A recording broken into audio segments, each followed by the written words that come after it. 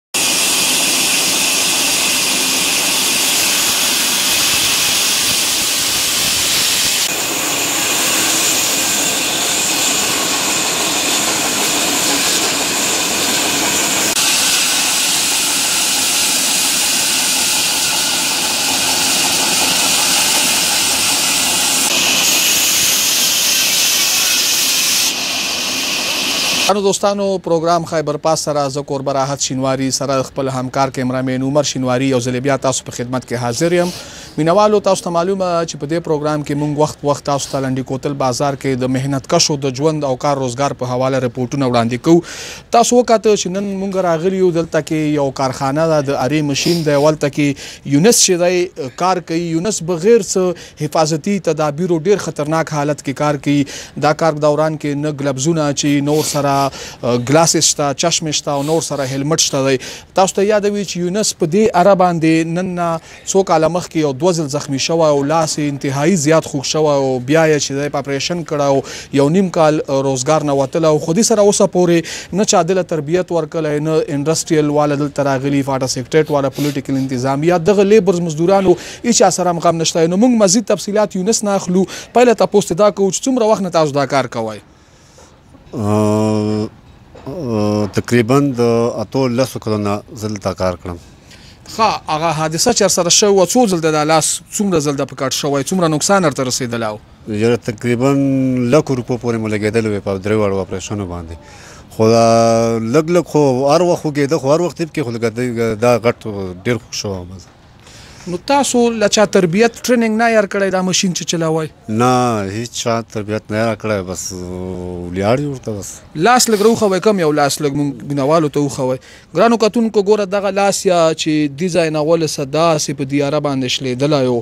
او دای و غوند خلګو آیا دا دا لاس داس شکې دلایو بیا دریم اپریشن سره یې دغه ځای وشکول او دغه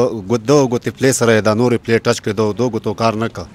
نو بیا یې دغه ګوتې سره کنیکټ دغه ګوتې نه یې له کنیکشن ورکړ نو بیا ګزاره یې وکړه ورسره بس دوستانو دا محنت کش دی غریب سړی دی لاس یې وشلېده اپریشن یې وکړ یو لک روپۍ هم په ولګولې خو هغه نه باوجود بیا راغی او دغه خطرناک ارې مشین باندې بیا لګیا دی هیڅ حفاظتی تدابیر دی سره نشته ګلبزونه ورسره نشته دی نور هیلمټ ورسره نشته دی چشمه ورسره نشته دی خو چونکی غریب دی تکړه هغه نه باوجود هم دا کار کوی ښه یونس دا راته وایه چی کوم قسم کار کوی دلته وړه مونږ ته ښکاری کوم قسم لرګی څه څه روزګار کوی دلته. نو بس دلته خو دغه لرګو کار دی لرګی کټو او دا تاسو ته مخامخ ښکاری دا ژرندی مشین دی جوار غنم اوربشه دغه هرڅه چی وی بس دلته میدو. څومره لرګي خلک کم زینه له راوړي او څو روپۍ تر اخلي لرګي خو دلته اول د ترکاړانو غوي د دیار مخکې خو د افغانستان راتلغه خو اوس بند شوی دی اوس د پیښور نه دیار را درومي د کلو نه راوځي او د تیرا نه به لرګي راتله د سوی لرګي تقریبا میاشتو سو چې هغه اوس بند شوی او غنم او جوار غنم جوار د خلکو بس ټول واړ خلکو کته ځمکې دي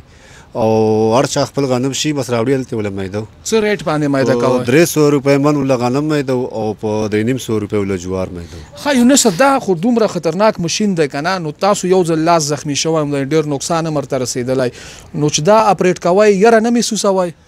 نو یره خو ځکه نه مخصوصو چې اول خو ته مونږ علاقه کې څه شته نه که هر طرف وګورو نو وبم په پیسو واخلو نو مجبورا نه موږ بس دا کار ته ځکه غاړه یې چې نور څه داسې په لان کې اوس سکه څه نه نو چې موږ کار شروع کوو دا پریو خا حکومت نه چارواکو نه څه غوښتنه کوي چې تاسو لکم قسم سامان ورکړي چې تاسو کم اس کم مشین په چلولو وخت کې نقصان نه بچ شی. نو دغه ډیر پوره سهولت دی خو دلته دا پوښتنه خو سره شته نه حکومت خو سره له موږ په اته کاله کې هم نه لیدلی چې تاسو دا کار کړی څنګه یې کړی څنګه چل دا پوښتنه خو نشته خو دغه ښه پوره سهولت ښه پوره جامه یې ملاوږي لکه په دې ماشین په دې جامه کې هم کار ناروا دی من یو ډول ستونی ورسره هغې تاو کړ لاس ته خطره هم شته ورسره خو دغه خو پوره مکمل جامه ده هلمټ یا خو پوره هر څه ملاوه کی خو بس دلته هیڅ شان دوستانو تاسو که دا مهنت کش وایي چې ما سره د خپل چې کوم یونیفارم دی هغه هم راسره نشته دی دا کاپړه ډېره خطرناکه ده که دا لستوڼی یا لمن ترې ونښتم دغه ژوند ته خطره کیدی شي ګلبزونه یې په کار وي او ټول کټ ورته په کار وي هیلمټ په کار وي خو دوی سره هیڅ هم نشته دی په خپله باندې غریب دي نه شي کولای چې ځان له سامان واخلي او اپرېټ يې کا باوجود د دې چې دوه ځله ورته نقصان رسېدلی خو بيا هم دا راغلی دی غريب دی او دا مشين استعمالوي په کار ده چې پوليټيکل انتظاميه او فاټا سيکټريټ کې او بيا چې کوم دلته چېمبر اف کامرس اينډ انډسټري واله وي هغه که خيبر واله وي هغه که فاټا واله وي که پښتونخوا واله وي چې راشي او داسې محنت کشو له کم از کم چې کوم دا حفاظتي تدابيرو يا حفاظتي ټول کټ ته هغه له ورکه چې کار دوران کې دوی ژوند حفاظت وشي